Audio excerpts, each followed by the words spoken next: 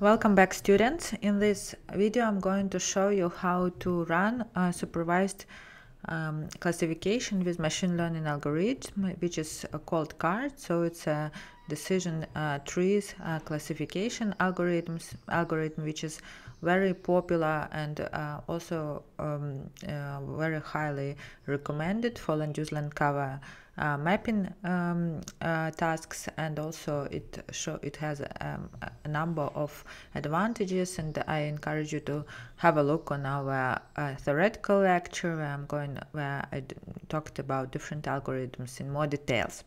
So we are working with the same study area which is Dubai. And basically um, we have already created with you training and validation data. So uh, the, the code, the piece of code that I'm providing here is absolutely the same as we used in a previous lecture. So when uh, we were using random forest classification. So uh, again, we start uh, with uh, importing um, of uh, our uh, training and validation data that we have created, and then we declare um, um, variable Dubai which was previously we just point, uh, draw a line or draw a polygon on, on, on, the, on the map. Then there is a nice uh, function here, center map on Dubai. If uh, you don't write this, basically, uh, then you would have to find your object by yourself. So your study area, you would have to search for it. So, but uh, when you just write this function here, uh, map center object on Dubai, and if it's in your case could be I don't know Las Vegas or Berlin or maybe Calcutta, then it will be a variable uh, of your study area. Yeah. Then again, we import the satellite data. We use we we, we work absolutely with the same data that we um, working in the previous example and the same we filter for Dubai.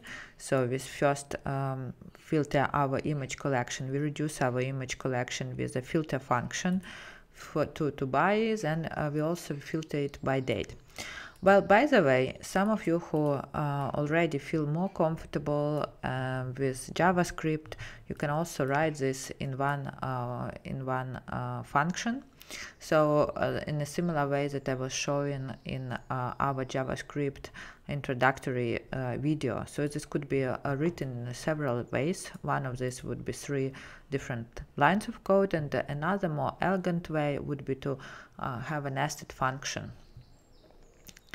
Well, uh, now then we print an image just to see how the first image in our collection look like and we map it on our map here. We add it to our map.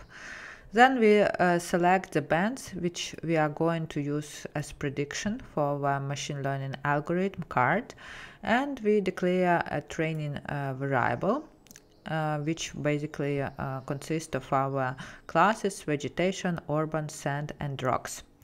And here uh, we uh, sample the region. We, we uh, use um, we declare classifi uh, classify training variable and train the classifier so um, when for example you are not sure about the function that you would want to use there are two ways to work with the uh, documentation in um, Google Earth Engine one way, way would be to click on uh, control space and then you would uh, receive the uh, help for this function. So what you see here that we uh, um, have a, a, function classify smile CART and the uh, arguments that are could be added to this function are maximum nodes and maximum leaf population.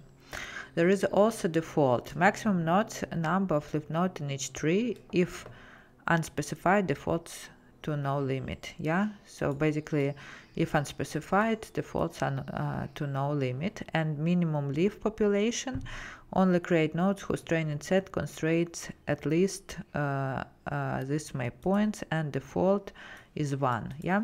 So basically if you want to use um, uh, a default values you should just uh, keep the brackets empty like I did but of course you can see that nodes is uh, um, number is only one is basically minimum number is maybe uh, um, you want to uh, further to put more arguments into your function and to adjust those Again, there is no uh, um, uh, rule of thumb. Okay, for this for random forest raw, for example, recommended number of trees for random forest is uh, 300 or 500, and there is also a rule how to calculate nodes.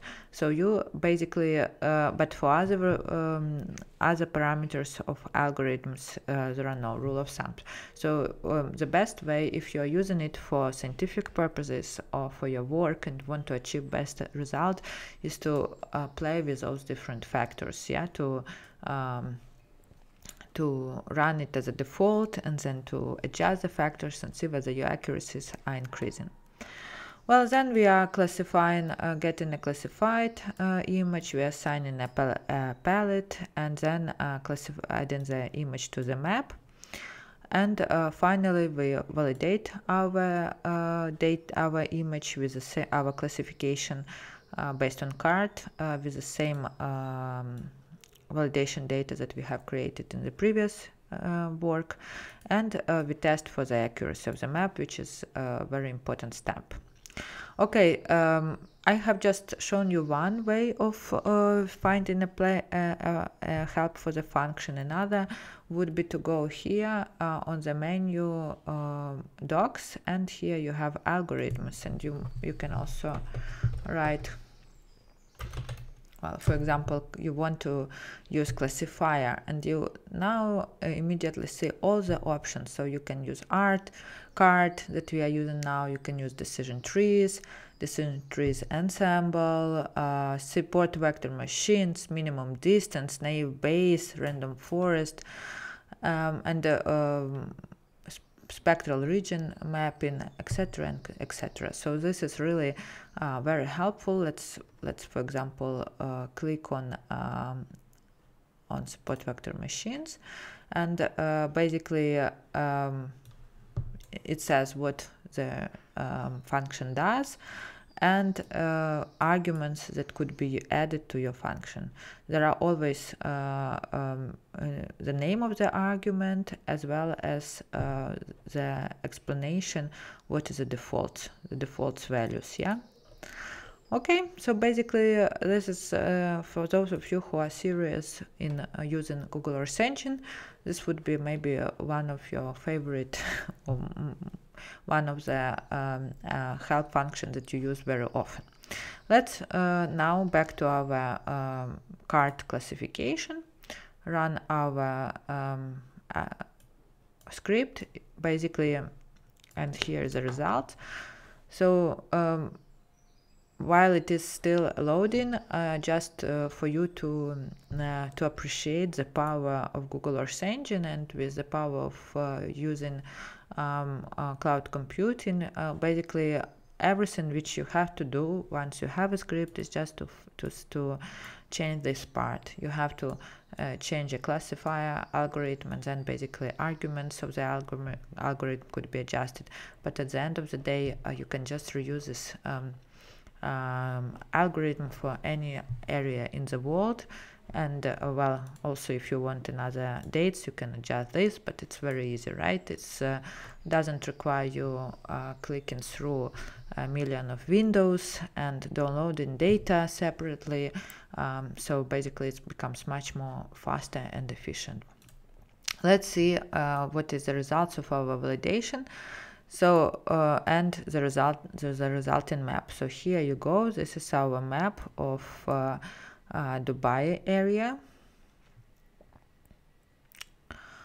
Yes.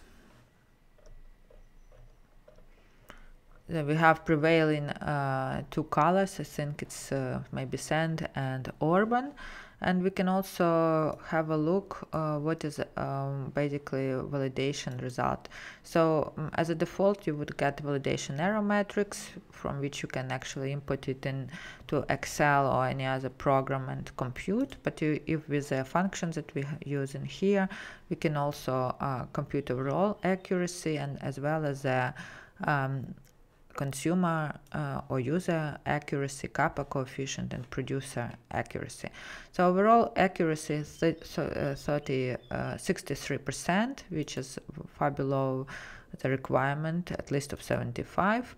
And here is we have a, a consumer also user accuracies, and by each of the of the um, class we can see that okay class uh, 1 is doing okay 90% 71 is more or less okay 59 is class 3 and class 4 are really doing not really great. Kappa coefficient of 52% is actually uh, also quite low at least should be 70 75 or better 80 but yeah 52 is a bit low uh, percent. And our uh, consumer um, producer accuracies are also quite low 66% 67 sorry 20 class 3 is not bad and class 4 so basically interesting that uh, our uh, producer accuracies are opposite to our consumer accuracy. So the, the classes 3 4 did worse in the uh, in terms of the user accuracies while producer accuracies are fine.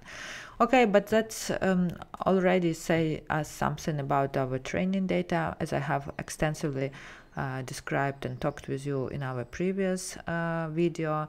And basically um, the way to improve it is two ways actually. The first way would be to um, work uh, nicely on uh, training and validation data so this should be redone. And training and validation data should be also cleaned so we didn't do this. But this is you can always do uh, when you are serious about your land use land cover classification. You should really search uh, very carefully for your training and uh, testing data as well as uh, you have to clean it. So you look at the uh, temporal profiles and uh, delete all this um, um, data that you don't uh, that do not belong to your class. So you should really look at the quality of your training and validation data. And number two how to try to improve this is to play with these parameters. So i'm um, here I'm using defaults and you should uh, test then uh, different uh, parameters combination which eventually could also lead to the better results.